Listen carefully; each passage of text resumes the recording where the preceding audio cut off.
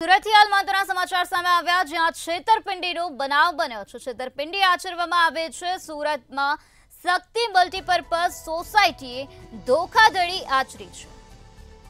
સોસાયટીમાં ત્રેવીસ રોકાણકારોના ઓગણસિત્તેર પોઈન્ટ છપ્પન લાખ ફસાઈ ગયા હોવાની વિગતો પ્રકાશમાં આવે છે. સીઆઈડી ક્રાઇમે અઢાર ડિરેક્ટર અને સાત એજન્ટ સામે ગુનો નોંધ્યો છે. તો મુંબઈ ખાતે રજિસ્ટર્ડ શક્તિ મલ્ટીપર્પઝ કોઓપરેટિવ સોસાયટીએ આ પ્રકારની છેતરપિંડી આચરી છે. આકર્ષક વળતરના પ્લાન રજૂ કરીને છેતરપિંડી આચરવામાં આવે છે.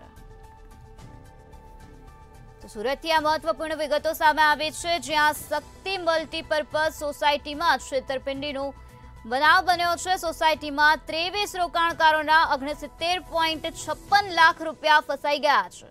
ત્યારે આકર્ષક વળતરના પ્લાન રજૂ કરવામાં આવ્યા હતા અને ત્યારબાદ છેતરપિંડીની ઘટનાને અંજામ આપવામાં આવ્યો છે.